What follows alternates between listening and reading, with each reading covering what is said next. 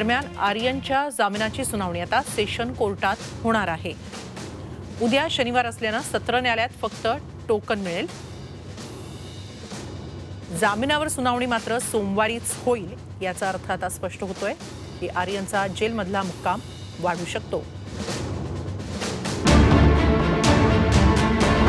बातमी मागची बातमी म्हणजे